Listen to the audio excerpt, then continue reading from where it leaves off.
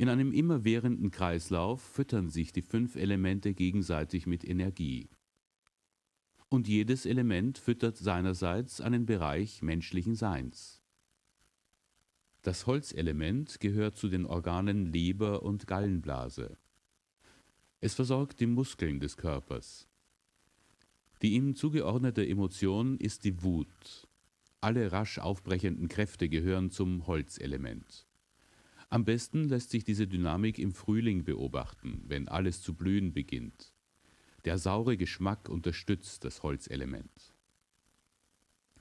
Extremes Verlangen nach sauren Speisen oder eine besondere Abneigung gegen den sauren Geschmack verweisen auf ein Ungleichgewicht im Holzelement. Nahrungsmittel des Holzelementes speisen die Energie in diesem Bereich und erzeugen Gleichgewicht. Herz und Dünndarm sind mit ihren Organen dem Feuerelement zugeordnet. Die wärmende Kraft des Sommers gehört hierher. Nahrungsmittel aus dem Feuerelement unterstützen die nährende Funktion des Blutes. Freudige Gefühle und der bittere Geschmack sind Kräfte des Feuers. So wie unser deutsches Sprichwort sagt, was bitter dem Mund, ist dem Herzen gesund. Die bittere Note in der Geschmackskomposition einer Mahlzeit stärkt die Energie im Feuerelement und damit die Herzkraft. Milz und Bauchspeicheldrüse gehören als Organe der Mitte ins Erdelement. Und so wie das Bindegewebe im Körper alles mit allem verbindet, spiegelt das Erdelement unsere Fähigkeit, Verbindungen einzugehen. Denken, Grübeln und sich Sorgen sind psychische Funktionen des Erdelementes. Im Spätsommer der Erntezeit wird die Lebenssüße gesammelt, geschmackvolles Geschenk der Mutter Erde für ihre Kinder. Menschen, die viel Süßes brauchen, verlangen unbewusst nach Kraft im Erdelement. Weist der Speiseplan genügend erdhafte Lebensmittel auf, so verschwindet das Süßigkeitenbedürfnis auf natürlichem Wege. Wenn der Herbst einzieht, heißt es trauernd Abschied nehmen von der Fülle des Sommers. Abschied und Neubeginn. Transformation in eine neue Ebene. Diese Prozesse bezeichneten die alten Chinesen als Widerschein metallener Energie. Wie der transzendente Schimmer des Goldes erleuchtet das Metallelement uns den Weg in neue Ebenen des Lebens.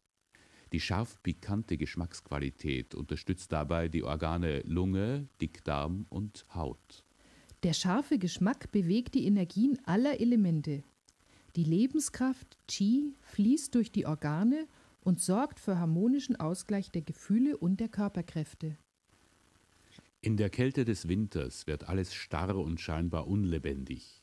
Angst und Furcht gehen an die Nieren und belasten die Knochen. Aber nur scheinbar stagniert das Leben. Unter der eisigen Oberfläche sammelt es neue Kraft für einen nächsten Aufbruch im Frühling. Salz wärmt die Nieren und stärkt die Kraft der Konzentration. Das Salz des Lebens gibt seine ursprüngliche Energie in den Gesamtkreislauf, damit Leben entstehen und aufbrechen kann. Wie in einer harmonischen Gemeinschaft speisen sich die fünf Elemente gegenseitig. Qi, die Lebenskraft, sorgt für den immerwährenden Fluss der Grundenergie. Ein ausgewogener Speiseplan versorgt jedes Element mit seiner spezifischen Geschmacksqualität und füttert dabei gleichzeitig die zugehörigen Organe und Gefühle.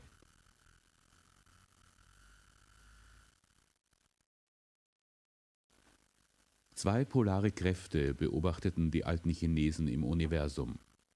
Nach der Philosophie des Daoismus ist es die Begegnung und Wechselwirkung zwischen ihnen, die Leben spendet. Alle Erscheinungen im Kosmos bilden Kompositionen aus den gegensätzlichen Kräften Yin und Yang. Überwiegt das Yin, so finden wir die Qualitäten Kälte, Feuchtigkeit, Dunkelheit, aufsteigende Kräfte, Materie. Eine Yang-Dominanz zeigt sich in Hitze, Trockenheit, Helligkeit, absteigenden Kräften und Energiewirkung.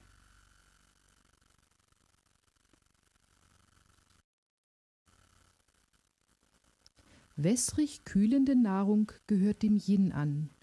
Trocken erwärmende Nahrung führt dem Körper Yang zu.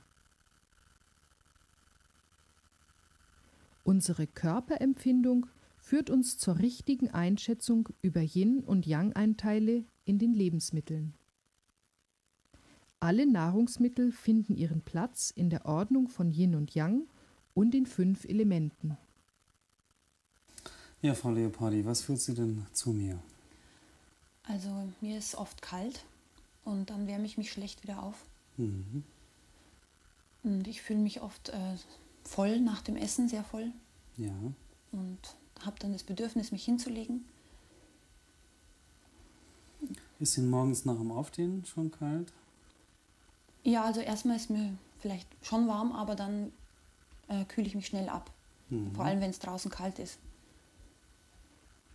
Und die Müdigkeit, kommt die nach dem Essen? Oder ist die permanent da? Hauptsächlich nach dem Essen. Eine Einschätzung der persönlichen Energieverteilung führt zu den Nahrungsempfehlungen, die Yin und Yang in allen Elementen und Organen harmonisch ins Gleichgewicht bringen. Ein gesundheitserhaltender Speiseplan füttert jedes Organ mit der aktuell notwendigen Energie. Und dann möchte ich mir nochmal Ihre Zunge anschauen. Vielleicht öffnen Sie den Mund ganz weit und strecken die Zunge richtig heraus. Und wenn Sie nicht mehr halten können, nehmen Sie sie wieder rein. Dann machen wir es nochmal. Mhm. Ganz weit auföffnen. Ja, und die Zunge rausstrecken. Ja, vielleicht noch ein bisschen weiter öffnen. Wunderbar. Dankeschön.